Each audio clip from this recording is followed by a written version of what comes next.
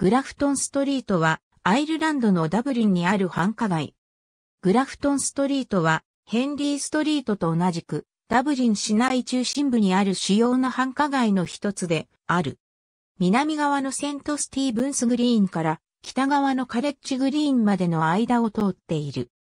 2008年にはグラフトンストリートは年間約5621ユーロ毎メートル、年で世界第5位。2016年には年間約3300ユーロ毎メートル、年で世界第13位の高額な繁華街となった。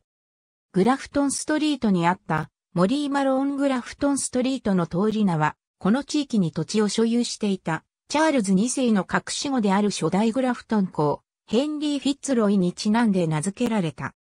1708年に、ドーソン家によって、当時の道から発展したもので、並行するドーソン通りの名前にちなんで名付けられた。リフィー川に架かるオコンネル橋が建設された後、グラフトンストリートは、住宅街から都市を横断する交通量の多い道へと変化した。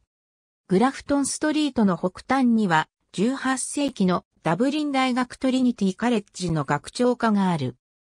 その向かいには、モリー・マローンの像が置かれていた場所があるが、2014年に路面電車のルアスの拡張工事のため、グラフトンストリートから近くのサフォークストリートに永久的に移動された。2005年8月19日、セントスティーブンスグリーンの端に近いグラフトンストリートのハリーストリートにフィル・ライノットの等身大ブロンズ像が公開された。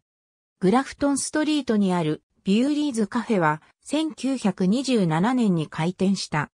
ミュージシャン、詩人、パントマイムなどの大道芸は、グラフトンストリートの買い物客に向け、パフォーマンスを行っている。2006年に公開された映画、ワンスダブリンの街角でのオープニングシーンでは、元グラフトンストリートの大道芸者であるザ・フレームスのグレン・ハンサーが出演しており、その様子が描かれている。グラフトンストリートの歩行者天国化は1971年に初めて試みられたが、長引く遅延のため、1983年には高級化されず、1988年には実装された。歩行者天国化は、軽犯罪や反社会的行動の増加につながると主張する議員や、中小企業のオーナーから反対の声が上がっていた。2020年現在、ナッソーストリートとカレッジグリーンの間の通りの北端は歩行者天国ではない。グラフトンストリートでは大道芸が通り客に向け行われている。ありがとうございます。